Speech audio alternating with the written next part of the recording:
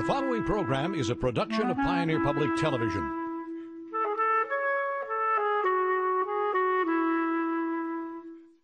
Your Legislators is made possible in part by the generous financial support of Southern Minnesota Beet Sugar Cooperative, a highly sustainable, shareholder driven cooperative that safely produces, processes, and markets sugar while being environmental stewards to ensure future opportunities for its shareholders, employees, and surrounding communities. Additional support by MAPE members, making Minnesota clean waters, safe communities, quality education, and veterans care happen. We work hard for Minnesotans. And by AFSCME Council 5, a union of 43,000 members who advocate for excellence in public services, dignity in the workplace, and opportunity and prosperity for all working families.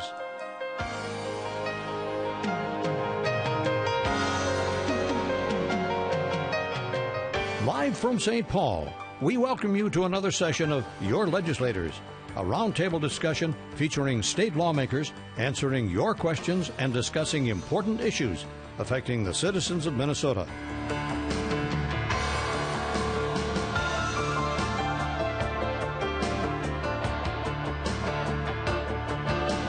Join the conversation online on Twitter and Facebook.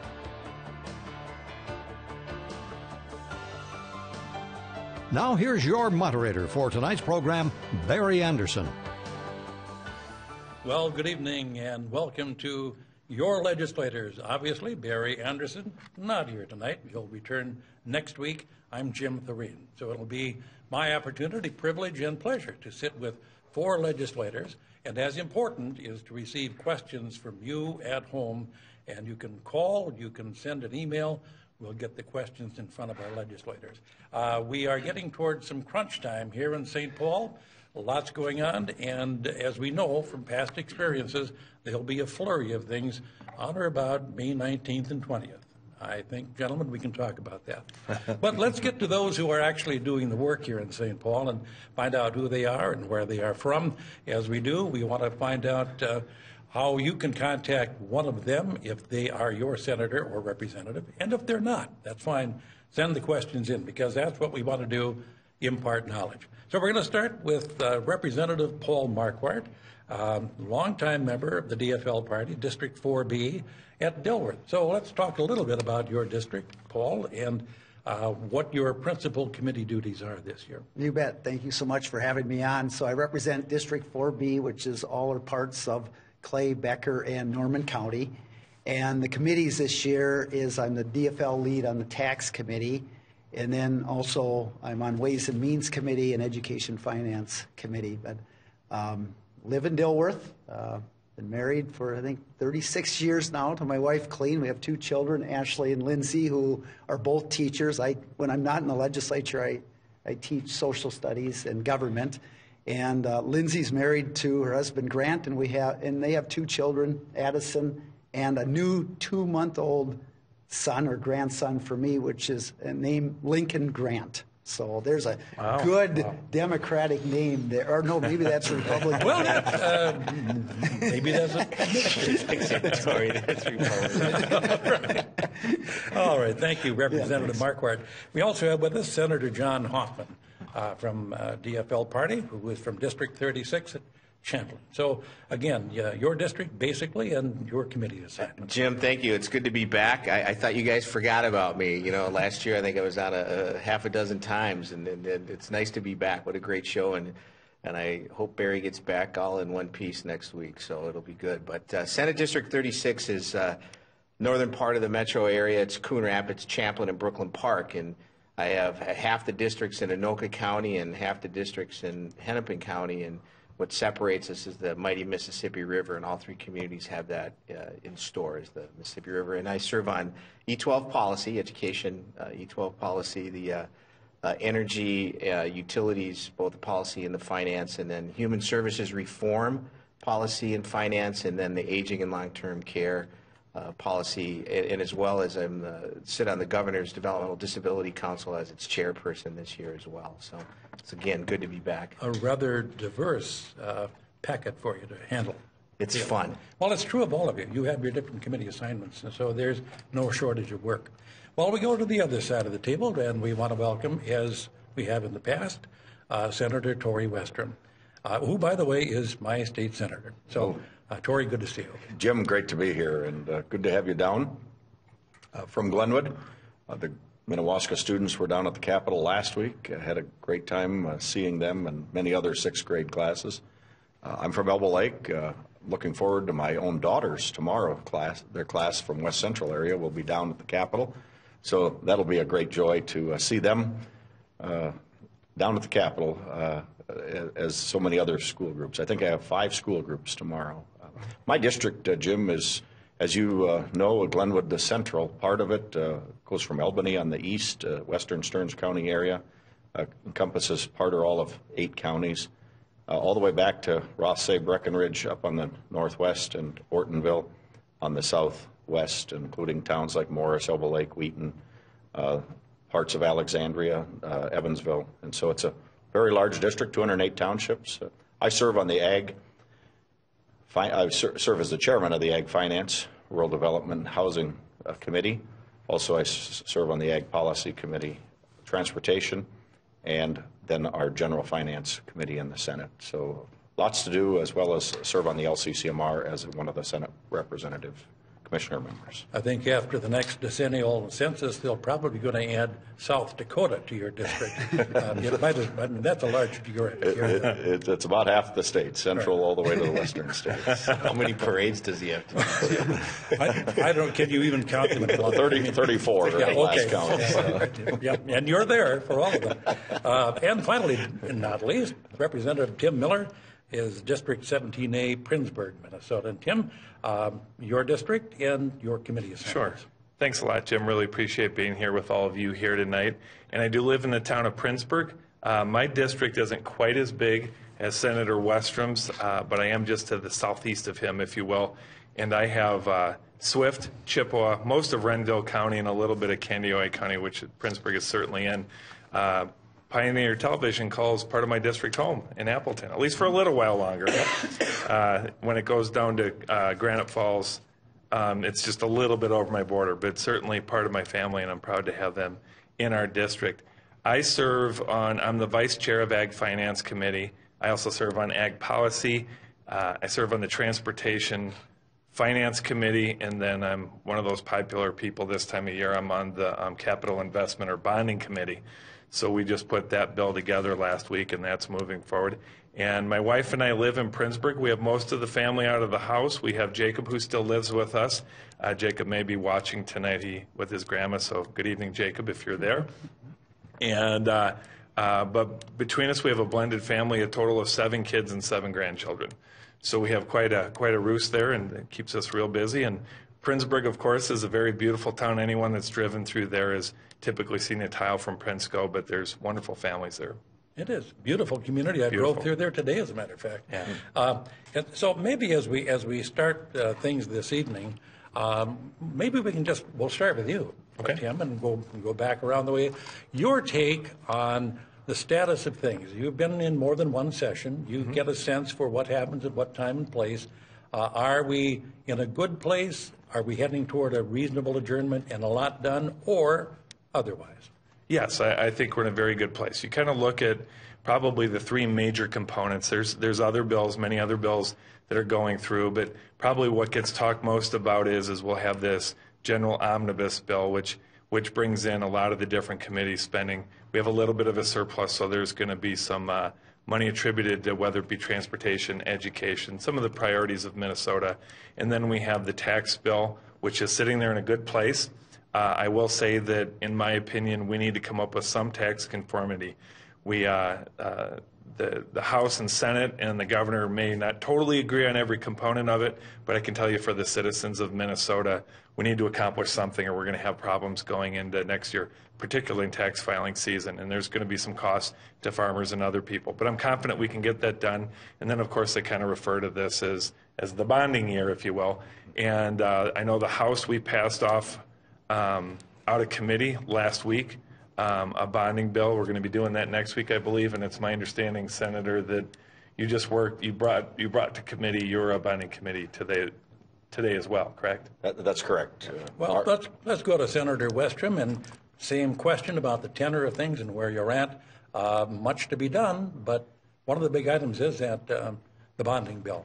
Uh, Jim, there, there was a bonding bill, uh, came out of, or proposed last week in the House, uh, this week in the Senate. Uh, the- The bonding committee in the Senate is actually there tonight, uh, marking up, uh, kind of putting their final fingerprints on the bonding bill.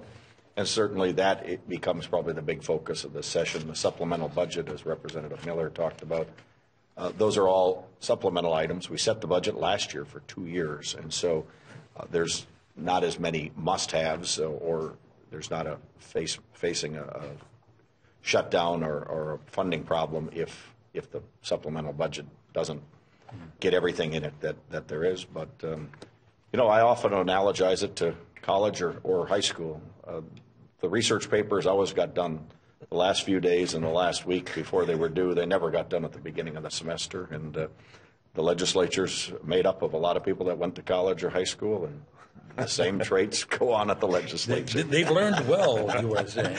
I can't follow that, Jim. you know what, Torrey? I'm going to steal that from you. That that is like, the, yeah, we all wait, you wait till the last minute. I, I'm I'm glad to hear the, the you know the positiveness that's coming out about something getting done. I I am I'm pleased with our bonding response so far in the Senate. I mean, Senator Senjem has really done a a yeoman's work on making sure that spread far and wide throughout the state. I, I wish it was over a billion. I wish we, I mean, we're probably the last time that this state's going to see our bond rating as high as it's ever been in the history of the state. And, you know, I think we could. We could make a, a higher bonding uh, count to it. But, you know, I, I, I understand the reasons why, because, you know, we have an election coming up and everybody's got to get their talking points and all those lit pieces, right? Liz, Torrey and I don't have to worry about lit pieces now, but these two guys, right? so Well, that's wait two always, years. Wait, Wait two, two years. years. So I'm, I'm glad to hear There'll that you think something's going to get done because I just don't see the urgency quite right. And, and I think Torrey put it into perspective. You know, those last four days are going to be really the last four days. I think there'll be some urgency. I'm really not, uh, I, you know, there's still a, a question on fiscal stability and, and what we're doing. And, you know, the tax, do you conform or not conform? And there were some things in there that I just don't see as a benefit to Minnesota. But hopefully that stuff gets worked out. Tim, I, I hope the, the House and the Senate can work this out before the governor gets it. But um, I'm glad you guys are saying it's going to end on time. I just don't see anything happening at the end because I don't see the urgency quite right now. And uh, maybe that'll come up in, in a few more days. Well, we'll get one more voice on that from Representative Marquart. Well, as said, it's certainly a bonding year, and, uh, you know, Representative Urdahl, Representative Hausman has worked really hard putting together a good bill, and uh, like the senator here, I'd- I think we can do a little better and a little bigger bill. I mean, interest rates are still low, contractors are hungry, it puts people to work in a statewide project, but I, I think we're pretty close. But actually, the other things we're dealing with is more of kind of a reaction. I mean, no one planned to do a tax bill this year until December 22nd when the federal government passed their tax bill. And as mentioned earlier, if we don't conform or do something, uh, it's going to increase taxes on 300,000 Minnesotans uh, around the state. So we have to do it, something there. And I'm, I'm on the conference committee on that bill. And we're, I'm confident we're going to get something done because all three plans, the governor's, the House, and the Senate, all are kind of on the same page as far as separating from the federal government, uh, kind of doing our own things with personal exemptions and deductions and, and that type of thing, which is the way we had to go, starting with federal adjusted gross income. They differ a little bit after that, but I think we're close enough. And then the other thing with the uh, catastrophe in the Florida school. You know, led to a real emphasis this time on school safety. And both the House and the Senate and the governor have put out very good plans there for, and what I'm hearing from superintendents is in the schools, you know, as far as the facilities, even things like fortifying the locks on doors and making the entrances more secure, but also going to the personnel and dealing with the mental health issues and allowing, providing extra funding for more mental health counselors or school resource officers or whatever to make those schools safer. But um, I- think we're going to get the things that have to be done, done. And, you know, some of the things might not get done, but I think we're going to do safe schools. I'm confident we're going to get a tax bill yet, and I think we'll get a bonding bill. You know, I do think with the with the tax bill, what I'm hearing from all sides is you, you hear different perspectives of how to achieve this, but we're trying to figure out. You say 300,000 uh, households, correct? Yeah. That are facing a tax increase, and we're trying to do as many as possible, either, either held harmless or maybe even a little bit of a, a tax break. But the tax breaks that we're seeing out of the House um, are really like a $50 tax break or 100. There's no one that's really cleaning up on this. I think where we, you know, I'm really glad that we were able to address a, a couple of things. It's called Schedule 119. I forget the number, but the but the equipment. The section 179. Section 179. yes. I never Yeah. remember the numbers. But Yeah, that's all right. 179. But, but, that, but yeah, that's a very important thing in rural Minnesota. And, um, and of course with manufacturers and stuff. And those sorts of key elements I think we're all agreeing on.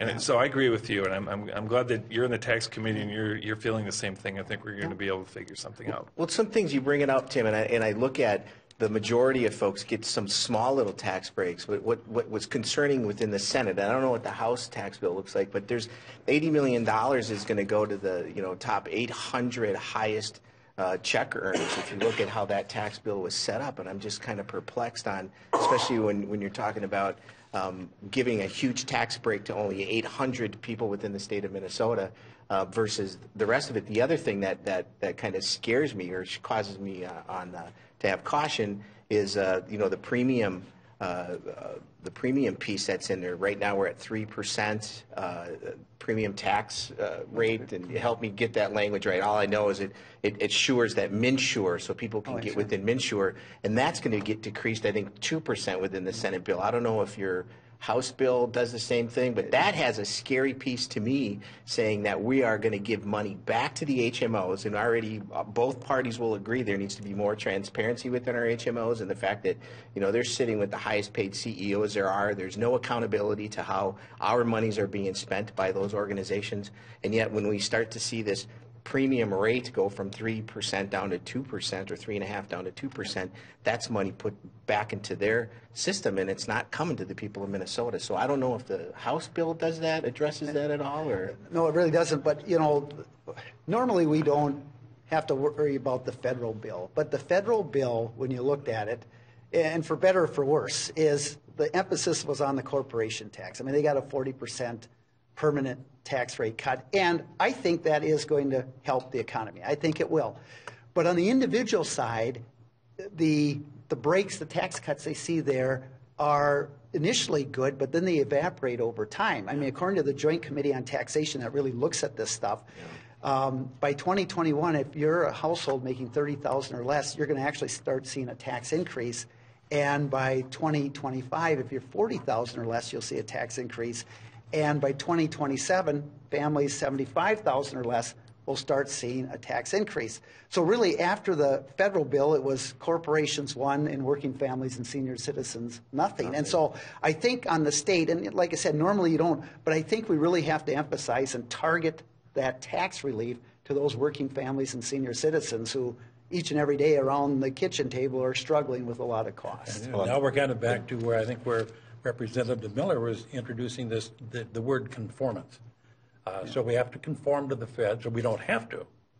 But Well- the degree is what you Whether, were just talking do we conform or not conform? What's the best interest and, of and, and Minnesota? I'm not on the tax right? committee, Yeah. but, But but conforming costs, to not conform will cost Yes. a lot of Yeah. people unintended uh, But when, consequences. but when we use the term conformity, the way that I've understood it from Chair Davids, who's done a really good job of trying to explain everything to people, we can't truly conform. We could conform, but you're actually going to see increases for pretty much everyone.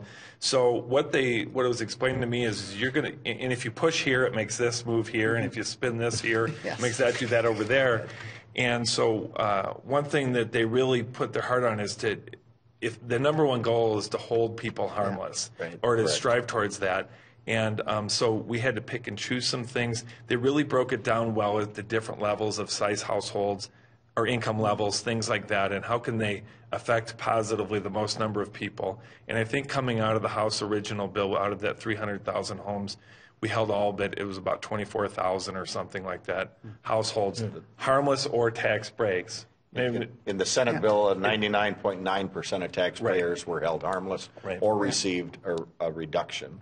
Uh, one of the things that's in the Senate bill, uh, which John uh, was referencing earlier, but is a reduction in the low income tax bracket. So everybody that pays in the low bracket receives, and, and that includes anybody in the low, mm-hmm. middle, or upper class, because they all pay am on that. am I same. hearing now that you need to get to conference committee and hammer it out? Well, that's where it is It's right in- now. it's in the where it is conference right committee now. right And I now, think and they're working it- it things what out. Torrey was talking about, I think in that, in that one, it was a night, like a ninety-five dollar tax cut for the low-income folks. But yeah, at least it's in there, you know, you're sitting there doing it. But the what right gets direction. me is the eighty, eighty-two million dollars that's gonna go to the top eight hundred people that are, you know, wealthy heirs. Well, but one of the um, things that's a little bit distorted is, is someone that's making twenty thousand dollars is paying less taxes than someone that's paying two hundred thousand dollars.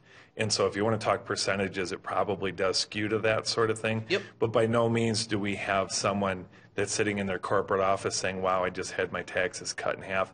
By far and away, the top five percent of the people in Minnesota pay the preponderance of the overall taxes in the state of Minnesota. And I'm not saying therefore they deserve to get the biggest cuts, but the numbers are going to be skewed just because of those percentages. Right, and I didn't, I wasn't, my whole point was that it's pretty, when you talk about especially disparity side of it, it- you get to the equalization factor, and we, all of us live in property poor school districts. We know what equalized or unequalized Right. taxes are. And in this case, I just am having a hard time wrapping my hands around $82 million go to 800 people. That's, that was my whole statement. It makes absolutely no policy sense for me, but you're correct on that Well. Gentlemen, we're going to move on to another Yeah. topic in a minute. We're going to start with the, the House members because the question that comes to us is from Motley. And the question is, what happened with the vote today by the House on the HIPAA policy? First, we need to understand what HIPAA is. I guess I better start Yeah, with that one. Tim, we we were talking about that. We're talking before we about this outside. So there is um, in Minnesota, and this is my understanding of it. It's pretty simple, but I'm guessing this is pretty much just dead on. Uh, simply put, uh, people understand what HIPAA is. That's your privacy through medical records. I guess perhaps some other things as well. But your your privacy rights. And Minnesota actually has higher standards than the federal HIPAA law. And what they are trying to do is to bring us in conformity with the HIPAA law. Um, there was going to be um, a bill that was going to be brought on the floor today to discuss that. There's still some more work to be done on it. Uh, they weren't quite in agreement on exactly how these things would go together. So I think it, it's sometimes best when you don't have it right, don't force it through the vote on the floor and decide things afterwards. So they've just pulled it back a, a little bit. You, you can expect to see it come up again. Oh, It will be acted upon prior to, Well, I'm not in leadership, so I, uh, so I don't know how this looks. Not the above corner, his not the grade. corner office. Okay. I'm- That's exactly right. and uh, we won't take bets on it, okay? Yeah. All right. Uh, Any other comments on the HIPAA situation? Well, yeah, and they, they, they basically said to states, because, you know, it's the same thing as if you look at one Medicaid uh, state plan, you've seen one Medicaid state plan. In this case, each state has their own variation of HIPAA when it comes down to, and, and I absolutely think that, uh, you know, Minnesota on a few occasions, like, why do I have to fill out this stupid form every year just to, to say that I need to share this information of my child with me and that it doesn't stay within the records, that it should be one time fits, one size fits kind of piece for your own individual family. So uh, it'd be interesting to look at that language, Tim, to see what you guys are talking about because there, there's Yeah, and I'm not, I'm not in that benefit. committee, Yeah. but, the, but my, here's, here's basically what happens when it comes to this information. They were talking that there will be some cost savings that'll be seen if we, if we come into this conformity. But there's a real concern by uh, many in the House um, as to your privacy rights. Um, I think the Minnesota House kind of has a tradition of being very particular about those things. And um, that's those offsetting those two priorities are, are really where they can come up with uh, um, an agreement. Uh, but I'm confident that they were pretty close. And, and I was not in the discussion. I thought it was going to be heard today. I had heard that there was some questions and stuff, and then kind of by the fact that it wasn't heard on the floor, that tells me they weren't quite ready. Well, move on to another topic, um, something that comes up each and every year, and we were talking about it prior to showtime, about the bonding bill. Uh, You've got pretty similar numbers coming out of those, of the leadership in both the House and the Senate, not in conformance with where the governor wants to go. So uh, who's the bonding person here that's closest to it and is really going to be making the push? Well, uh, Joe Torrey, you Jim- spoke up. Jim, just uh, to touch on it, I, I think Tim's the only one on the bonding committee, but uh, John, you're not, are you? I am not, uh, no. But one of the one of the issues is uh, we set aside uh, about three percent of the budget, and that budget gives us our debt service ability, and, and 825 million is right around that exact spot. And so, as we raise the bonding bill above that, we have to find other debt service dollars. And so, uh, you know, that's where you're seeing the House and the Senate come. uh, The real priority in bonding in the House was um, infrastructure, roads and bridges, and um, uh, uh, I always forget the name of it, the water, the, Yeah. like the wastewater. Oh, yeah, yeah, Water yeah. infrastructure. The with- P- PFA, there we go, PFA, PFA. So those were the, those were the predominant uh, focuses. There are, um, as Chair Urdahl always says, he needs uh, three-fifths of the leg, of the House to vote for this. So sometimes to get, sometimes to get uh, a few votes, there's, there's some projects that are kind of tucked away in there. I haven't seen the Senate bill, I was told. Ours was more kind of general pots of money. of Ours was like- better. Absolutely. and I heard the yours are more. I agree I'll, with I'll put Torrey a on polite that. term on it and say there were more targeted projects that were identified there. Um, but I will, you know, this is for my district. I'm going to kind of show for this for a moment. One of the priorities that I've been working on for three years now, four years really now, I should say, has uh, uh, been um, in identifying um, some money for veterans' homes. We have a need for more uh, beds for veterans that want to be close to people that understood what they went through and have have very particular and special uh, medical needs, and we have uh, some room for the federal government to allow us to grow, and it's not even going to come close to the need that's being projected. And so that is in the bonding. I'm very excited about that. It's not complete yet. I don't know that it's going to make it through. I know that the Senate's looking at it a little bit different from the House, but I um, am certainly hoping that that's going to go through. Now, are the, the- I've, I've seen reports in news of three locations that are Yes. being considered. Are others off the table, we're down to three? Well, yeah, because here's the way that works. You have yeah, so you have Montevideo, Bemidji, and Preston. So kind of in three totally different, unique locations. Now, I could burn a whole the whole time on this show to explain how this works, and you don't want me to do that. So I'll keep it extremely simple. There are certain standards that the, the state covers simply one third of the cost. Federal government two thirds. You have to get it through the state and then apply to the federal government. And there's there's 17 criteria that you have to meet for the federal government to accept your application, much less get in the right priority to get it awarded. And it's very time consuming, it's somewhat expensive, it's very frustrating. And so there have been other cities over the years that have tried to do this. Um, not everyone qualifies according to the federal standards, but they've tried and they've kind of fallen off. And this has been a priority for me and a couple other people um, that we've been pushing this through. And so that's kind of where we're at today. All right. See, That's an interesting perspective not to say. I mean, it's, it's, it's a huge need out there, and we saw it in our area. Matter of fact, there were some abandoned buildings in the old regional treatment facility in Anoka, and Jim Abeler threw on Eagles Eagles Wings, Eagles Healing Eagles Nest. Out of Nest. Sauk Centre, out of Monty. Center. We went in there with you know hundreds of volunteers, and, and our union brothers and sisters went in there, and I mean it brought tears to my eyes, and just to see what Senator Abeler had gotten the community to get around and to be part of that, it's huge, and and to know that.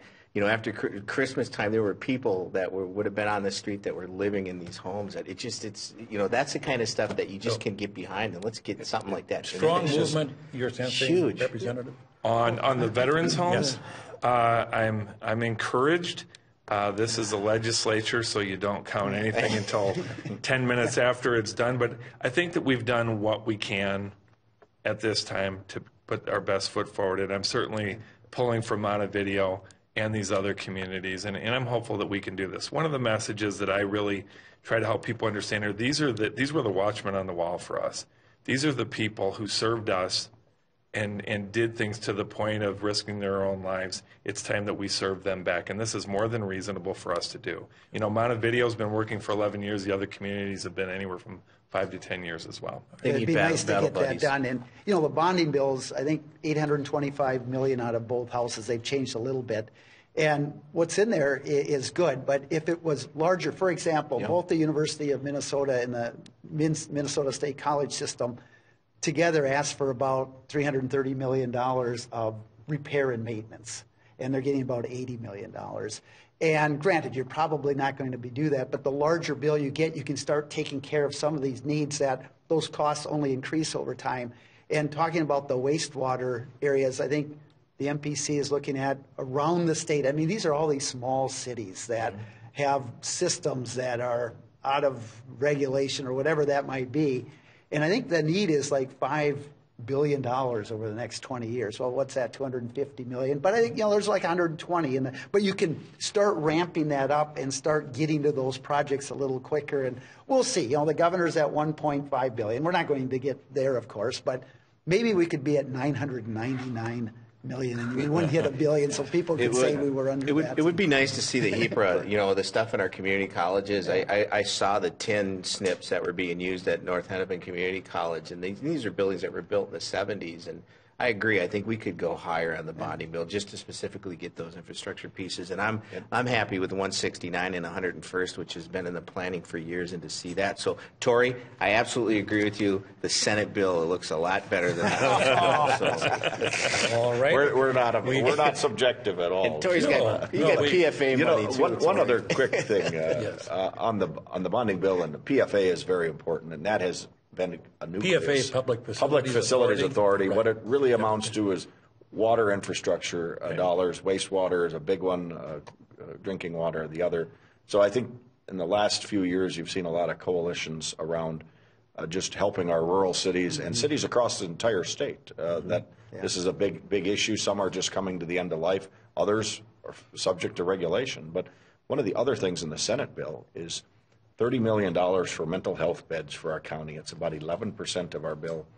And that has been a huge issue with our counties and our hospitals. I've had doctors call me from the emergency room and say, What can you do? We've got a mental health uh, patient that needs a bed. We can't find a place. And And so uh, Senator Senjem has done a, a good job with his uh, uh, bipartisan committee that he works on these issues, and it would bring six or more mental health beds that uh, would be geographically tried to distribute across the state. So no no uh, facility was would be so far. Right now, you know, in western Minnesota, they're driving to the cities and uh, there, there's two, three hundred miles sometimes between uh, where they have to drive, and, and when people uh, have a mental health crisis and a need, uh, we need to be able to take care of them and get them in a safe facility that, that's closer to their community. You know, you talk to your local human services operations or the sheriffs of the state. Yeah. And they're on the road a lot, just getting Yeah. people to different beds that are open and available. So it is a huge problem that is not going to go away until there's some action. And it's going to get worse because our, our federal government, the feds, are you know just made a, an indication that they were going to cut services to children's mental health on that, and that's the scary. I I posted something, Torrey. I'll send it to you. That that's our Minnesota once again, you know, responding to the needs of our community. Uh, Right. regardless of what the feds are doing, and it just scares me though that we're, we're going to be back at this trying to fund that again. And I, I'm so glad to see that that was part of the bonding bill. We're too. going to come around here to, uh, we mentioned all of these needs, if you will, for infrastructure. But uh, of course, roads and bridges always come back. We have a nice note here. I can't read all of it on the air. Fix the blankety blank roads! Exclamation point! Exclamation point! So when we fix the blankety blank roads, uh, how much money are we going to have to spread around the state of Minnesota? Well, the, the, the Senate bill, and I think the House is pretty heavy on infrastructure, but we've got about 30% of the bonding bill would go into highways uh, and infrastructure, bridges. Uh, one, one big project uh, we've been working on for several years is uh, railroad crossings, uh, the one in Glenwood. Uh, Jim, uh, you're familiar with that, uh, I being indeed from am. that area. Uh, we do have 10, 10, 10 million, 500,000 uh, in, in there for uh, that project uh, to have an overpass over the railroad that is very busy, blocks traffic, a public safety issue, and a frustration for the traveling public when they're sitting at the intersection, can't get through. And I understand Senator Senjem has some monies that he would like to put on Highway 14, which has been a real death trap, literally. Yeah. Uh, That's another big project. So there are some big projects like that that are moving through. And, uh, you know, back to the, to the issue, we're going to conference as soon as this bill gets off the, these bills get off the House and Senate floors. And, you know, they, they somehow meld together. So eight hundred and twenty-five and the governor at a billion five, you know, it doesn't take too many odds makers to realize that it's probably going to be something bigger than eight twenty-five when we're done, and uh, we'll think about it. I'm making a note here. Torrey predicts. Yeah, Torrey's right. Torrey promises. Twenty-six, I predict. But, you know, we're, we're talking. Ball's been around, you've seen. Yeah, yeah, yeah, I hear you. It- You know, together. we're talking the- the transportation, and and that, and there's some movement on different proposals, and, And right now, they estimate you need about $600 million a year in the next Yeah. 10 years, just for roads and bridges. That doesn't include transit or anything else. Six- Increase. I- incre- Because we're already increase. spending quite a bit of money. that- And I only point that out because there's some people Yeah. that say, Yeah, you know, you're spending no money on transit. Oh, yeah, no, We're no, no. It- I- That's, We put that's the point I'm making. It's got to be million an. a year more in last Right, year, it's, so. we need $600 million increase each of the next 10 years to make do. And one thing we're lacking is this kind of source of funding, uh, ongoing, dedicated, permanent source of funding. Now, I know there's the constitutional amendment Yep. they're moving around. And, and but that would bring in, right now, numbers at max, 200 mil, $280 million a year on the auto parts sales tax, which still only gets you about halfway there. And, you know, I don't know if we want to talk about the um, constitutional amendment or not, but it, it, even if that passes, we still have another 300 million at least a year that we really haven't figured out how to deal with. Well, one of the challenges that we have um, is uh, I, I always say if everything's a priority, nothing's a priority. We can always say we need more money in different areas, and, and we have a finite amount. Now, we can have discussions on what that finite amount is or how we can increase that finite amount, perhaps through tax increases or things like that. But one of the realities that we're facing that I try to explain to people is, is, uh, is HHS is just baloney. And um, medical and Human Services. Health and Human Services, medical assistance alone in the last biennium increased by over $2 billion, and it's expected to go by another 2 billion into the next biennium. That's a huge chunk of money that we have to try and account for that puts a squeeze, puts a squeeze on education, puts a squeeze on transportation. But even despite that, because of the incredible work of the people of the state of Minnesota, we have a robust economy and those revenues come in. So I'm a little bit less fatalistic about the transportation funds that we're putting in. Um, I frankly question that that 600 million has not been mutually agreed to. I'm not saying it's wrong, but I'm not buying in that it's right. Uh, we certainly need to make sure that we can put more focus on on spending on transportation, but we're going to have to do it in the context of a priority of what else we're going to do. Uh, Priorities, priorities every year. Some of them are very similar, come back, but some crop up. Uh, And this year, uh, big money for roads, maybe, maybe not. Well, you know, Jim, I, can I just Sure. uh, double back on what Tim's saying? Minnesota, in the in the history, the first time in the history of Minnesota, a year and a half from now, we're going to have more people in retirement, 65 and older, than we are in the K-12 system. Right now, there's 850,000 people in the K-12 system. Uh, we're right now at 635,000 that are 65 and older. That goes to 965,000. The medical assistance um, need that's going to be right now on our budget is 1.1 or 1.2 billion dollars. It's going to go to 3.5 billion dollars.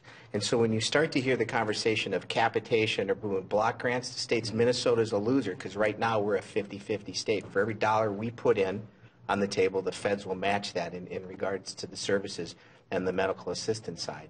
And that's not I mean, that's in- indicated of the fact that our aging population is getting there because a lot of folks in, in the nursing homes, the services and supports are being paid through mostly Medicaid. Those services are there. Go to a hospital, 65% of your services paid at a hospital is going to be a Medicaid, Medicare blend.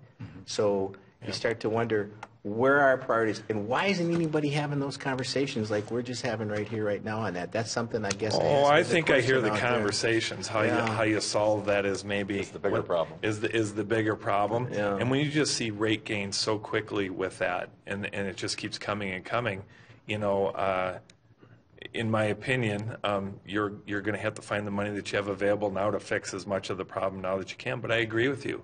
We have a growing problem that we're going to have to address with medical assistance and some of these other programs.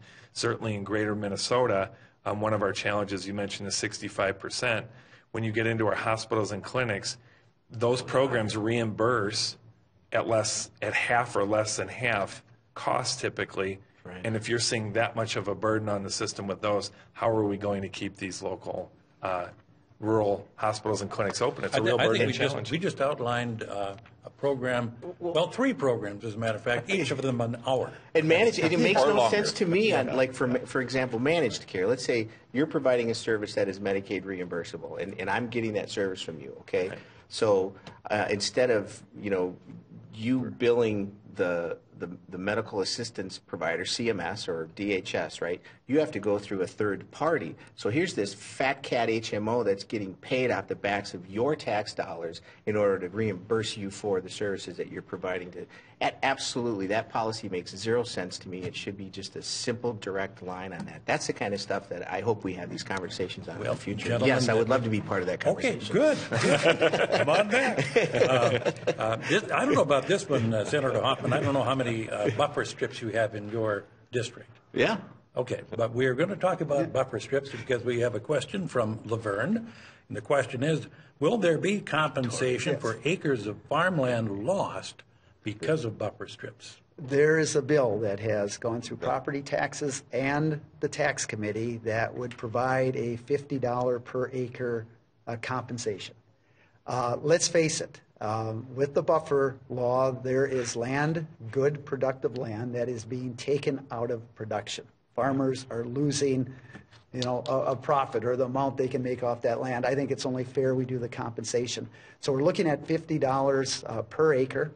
Uh, The only controversy right now is where to Where take the funding from? from. And so, the, the, and actually, this uh, was also a proposal in last year's tax bill by the governor. So Governor Dayton has said he's strongly behind it. The House and Senate, Democrats and Republicans, strongly behind it. But the governor would like to see the dollars come out of the general fund. And the House, I don't know about the Senate, is looking at the, cle- uh, yeah, the Clean Water Water Fund. Legacy Fund. So, uh, as I've said to both committees that I serve on, I said, everyone wants this to get done. Just let's get this done and, you know, somehow come to a compromise on Take it out of the 800 fund. wealthiest people that are getting that $82 million back. I don't think it has to be that He, complicated, has got, he's got a theme going there, I- I think. But but it's important we get that It- it- compensation. It is. really and- is. and, It's I very mean, important. Paul's hit it on the head. I mean, it is taking good land out of production. Uh, And, and it, to me, has always been a logical place to take it, is the Clean Water Legacy Fund. Uh, Because that's part of what the sales tax uh, dedication was done for, was to achieve clean water and, and the buffer strips, uh, with the governor pushing it, was uh, designed to help uh, filter water before it hits the ditch, ditch systems and the drainage uh, areas. So, so it would make sense, but uh, not there to say. seems to well, be harmony on the need for it. Yeah, and the fifty dollars is certainly not the match compensation for the cost of land. It's uh, Representative Paul Anderson, who has the bill, said he's trying to match kind of the average amount of property taxes on a per acre, and so that's Oh, kind of where the that's where the number comes from. We, So- we can't, we, quite frankly, Yeah. can't approach that production cost or value or some of that. We've looked at those numbers. And, and Jim, I think the, the real issue is, is that we have this buffer law. Not a big fan of it. I haven't been quiet about that, but we are, fa- we do have landowners where they're saying this just isn't right. So I think what has happened is, is over the last couple of years since the buffer law was put into place, um, what do we do about this? And compensation, and wh- what does it mean to take land out of production?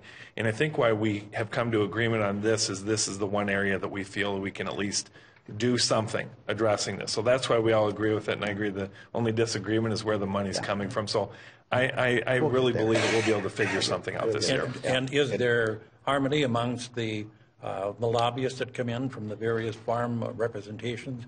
Are saying, yes, we're in a good spot here, but the fifty dollars? Oh, yeah, no, they're all on board. Farmers Union? Yeah. Yeah, they're all on board. Generally, that's, that's consensus. Yeah. Uh, Recognizing 50 is a long ways Right. towards what the number really would need to be if you compensated everything. Uh, But the other thing that's, you know, going to play, I, I think this is still going to be a big electoral issue this fall. Uh, Governor Dayton's term is up, and I think there's still a lot of consternation over this. And so uh, with a new governor, one way or the other next year, uh, this, you know, this issue's probably not gone. The buffer story is not over. The buffer story is not over. To be continued. And I, you know, I, I think, I think after we've seen the effect of it, there probably is good reason to look at places where we could modify it significantly and let a lot of that land back into production, provided that there's the buffer, uh, the, the benefits for the buffer achieved in, in different ways, alternative practices that some are Yeah. new, new methods that five years ago, nobody was thinking about. All right. The um, the legislature always, well, at least for the next, how many days now? Are you, you're doing the counting, I'm not. 10 days in a week. 10 days, okay. And then at some point, you go home and you rest for two days, right? Before you get back to your committee assignments. Well, maybe a little bit longer.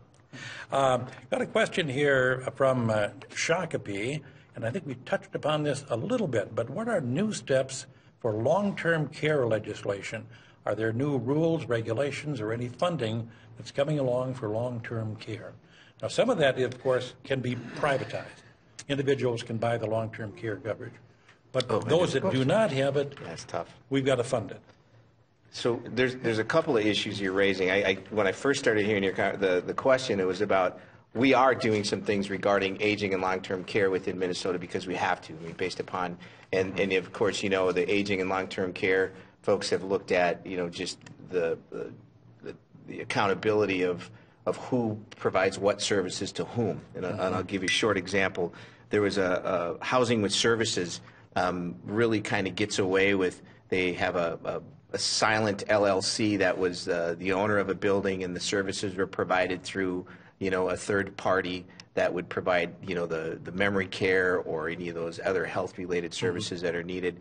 And it was really, there was really no way to line it back to who really owned that building. So there's been some changes this year. We have now, you have to be accountable and, and trans, uh, uh, you have to be transparent about who owns what and provides what services. Um, that was a long process this year, and, and I think the AARP uh, committee that was put together by the governor came with some, some, some suggested changes in how we provide services and supports to people in Minnesota. And we adopted a few of those, and I think there's still going to be more to be continued. But then the second piece to your question was, was, uh, was in there was who's buying long-term care insurance and and you look at it, a standard nursing home, and, and I do visit nursing homes, and, and you go in there, and very few people have the long-term care. And when you talk to people that do have long-term care, it really doesn't provide the amount of services that they thought they were going to get once they're, they're having it. So I don't know the answer to that, Tim, other than I was my first, at it, right? Yeah, my first term I was on aging and long-term care, and that that issue of the long-term care insurance was really designed for the old model of long-term care, basically just nursing homes. But of course, we've we've expanded off of that over the years, and we did were able to get some changes a couple of years ago done. Right. So you should be seeing some improvements with that. But I actually hope to get back on a long aging and long-term care committee because this is a very important issue in Minnesota, and to be quite frank, it's uh, it's it's fascinating. If, if if you know, if I dare say that, there's just a lot of work to be done there. I think Minnesota, because we are an aging state, as you said, um, Senator, there uh, we have a lot of work ahead of us. And I will tell you that this work on this issue is largely bipartisan. Oh, yeah. Yeah, yeah, because we. Oh my God, you're you're absolutely right. And You look at our Jerry Relph, Jerry Newton, Jim Abeler. You look at our community. Carrie Ruud's on there, and that that committee should. When you look how we operate it, it is the politics are set outside, the ego set outside. It's driven toward the exacts that you're going on, Tim. So I just wanted to say you're right on that. We, uh, we're going to move to something that may not be uh, nonpartisan, bipartisan. Question comes from Willmar. Will there be, will there be any expansion of background checks for gun purchases? I don't think so. No. I think uh, Second Amendment uh, issues uh, haven't uh, haven't uh, got a, enough support on either side of the aisle. Uh, in the Senate, the only bipartisan uh, vote we've had is uh, to not uh, go further with uh, more background checks. Uh, saying that, though, the effort is there's a lot of laws on the books already, Jim. Yep. that many people don't even know exist, and unfortunately, some of them aren't even being used. And uh, we've seen that in the shootings uh, in uh, Florida and in other subsequent ones. Well, you know uh, what? I- I- and, and, and then, secondly, uh, what has grown out of this, though, is the need for mental health that I talked about earlier. I attribute that initiative in the bonding bill largely to some of the mental health issues we are trying to get serious about dealing with, and school safety, as, as Paul uh, mentioned earlier. And those, those are the things where I think the effort is coalesced around bipartisanly. Democrats and Republicans, uh, we are going at those issues that, that have existed for a long time, and uh, we might have the nucleus to get, get things done on. And I wish, Torrey, I, I wish Senator Limmer would have had some hearings this year because Senator Latz, who's been having these conversations a long, long time, had some good amendments this year on the Senate floor that in the, the right, like you say, there's got to be the right atmosphere for that. I think their atmosphere was there. We saw more people come to us um, citizens come to us say do something. And yeah we can touch the mental health. And i was one of the first senators to bring school-based mental health. It was $10 million in 2014 right? You addressed that. But that's not the root cause of the problem. There are some other issues there that we need to do it. And i think the only way to do that is if we would have open hearings on this conversation. And, and again, this is where you got to set the politics aside because we're not talking about messing with the Second Amendment. Absolutely not. What we're talking about is dealing some holistic look at really what's going on. And, and I believe Latz had some really good uh, amendments and, and those things. And, and again, the senator did a good job on that. And it's too bad that uh, your leadership did not ta heed the words of people and do that. And I'm not blaming you, Torrey, or blaming well- anybody. I just wish we'd have an open conversation about it. Representative Mark Farrar. Well, you know, we have to make sure we're doing things that are going to really make a, a difference because it does get really partisan. And I've always Yeah. been to the premise that normal people do not go into schools and shoot children. And so you do really have to start with the mental health aspect and make sure that people who have a mental illness or violent criminal background of some sort do not have guns. But uh, a lot of the things you see aren't going to maybe work. They're not going to have the bipartisan support, which I think you really need when you deal with an issue like this. And I think the focus this year on really looking at what you could do with safe schools, uh, not only with the infrastructure in the building, but looking at mental health and school resource officers probably was the best way to go. You know, my, my, the thing that I liked about, excuse me, the safe schools aspect of this on the House side, I haven't seen what the Senate's doing. It may be the same, it may be different. But on the House side, we looked at the individual schools individually. So one of the things that surprised me, and this was, I don't know why this was ironic, but when we talked about it in the room, our more urban and suburban legislators, their schools didn't have a whole lot of safety on the facilities. Where in greater Minnesota, we do. Um, that, that seemed to reverse in my mind. But there's also other issues related to making a school safe, and that's where the mental health comes in, some of these other things. So, uh, uh, Chair Jennifer Loon did a really good job of putting together a plan that basically uh, freed up the school to say, uh, you do what you think is best for your school. If it means if it means different doors, then get the different doors. If it means you need to have a counselor, then you get the counselor. If you need to have um, some some law enforcement presence, then do that. And and so I thought that was a really good formula that seems to be gaining a lot of support. We uh, have a caller from northern Minnesota who came into the, we're going to switch gears a little bit here. I think we may have touched upon, his question is, what is the status of the LCCMR bill? Torrey. Well, uh, as the author in the Senate, I can offer a little insight. You would hope. And where are we? We, we, we are uh, we have we have the bill. Uh, we're through all the committees in the Senate, uh, but one. It's in the Finance Committee. Uh, Jim, uh, we've been talking with the House on uh, just end end of session uh, plans. Uh, one of the efforts that's gone on, and the LCCMR dealt with this last year, uh, was to look at ways that the LCCMR, the dollars that are targeted towards helping the environment and be a part of uh, uh, helping solve environmental issues, uh, which one of the directions we're looking at is PFA and how a PFA could uh, be helped by some of the dollars. And, and so, So the we- we have some alphabet soup here. Legislative Commission citizen, let us, Legislative Citizens Commission on Minnesota Resources. and PFA. And PF. PFA is the Public Financing Authority. So, long story short, uh, the Senate bill ha- still has some uh, language to uh, help direct uh, the, the commission to uh, look at PFA and help our cities under 5,000, which are called out in the constitutional amendment that was passed in the late 80s, uh, and how to how to help that. So we're looking at direction directional uh, ways to help uh, the PFA, which is also being funded uh, in the bonding bill, but.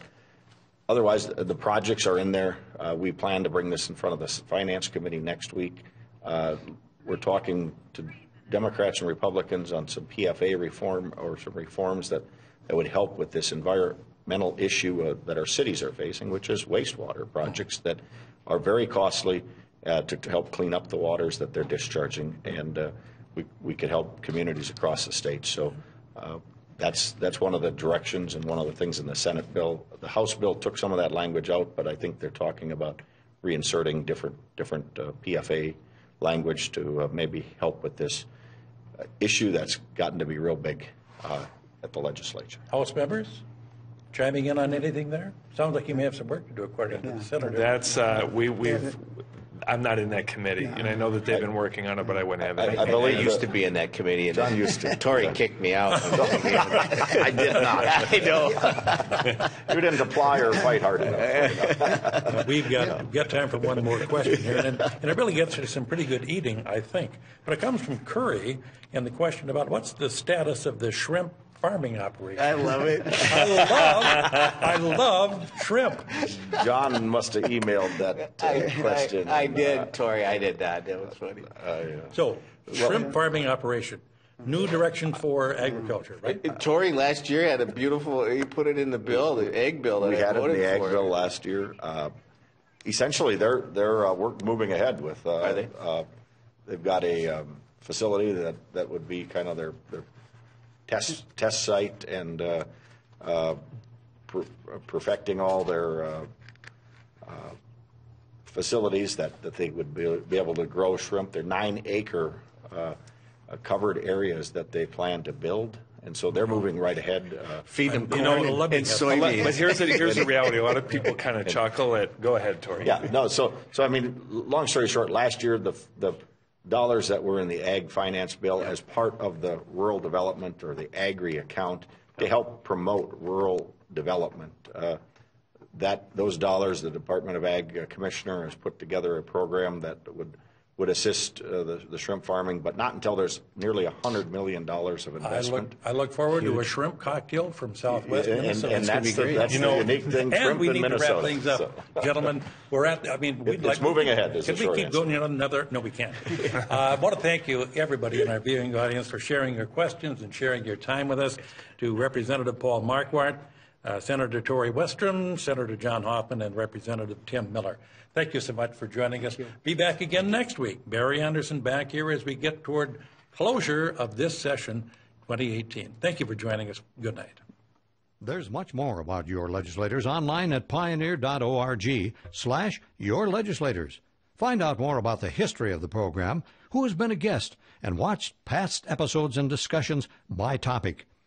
There's also a photo gallery, informative links, and much more. To continue the conversation, follow us on Twitter and Facebook.